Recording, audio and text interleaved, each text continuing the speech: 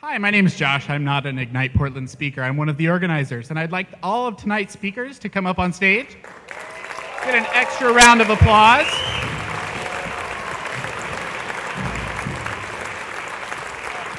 I'm a horrible frisbee throw, can you tell? Let's also have all the volunteers, everyone who helped us out on the staff, the AV crew up in the box. It's really hot up there. Thank you guys for keeping everything running smoothly.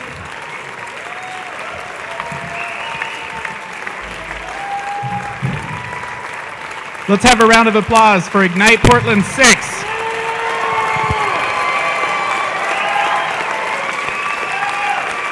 And we do have one last slide, if we can get that up there. Some final words, some reminders. Nate Angel already stole part of my thunder, but that's okay. I told him to. Do, do, do. Where's that slide? All right, there's two things I want to tell you. I'll do it without the slide. The first is that Ignite Portland 7 will be on November 12th. Well, there's part of a slide. It's the wrong one, though. November 12th. Mark your calendars. It'll be here in the Bagdad. It's a Thursday night.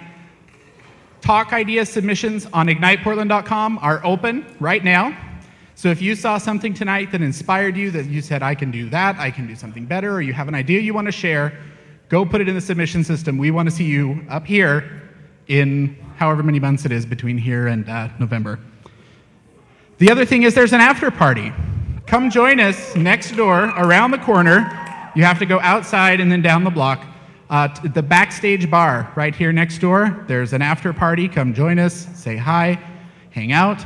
I'm sure more than a few people will be eventually moving down the road to Whiffies to get some pie.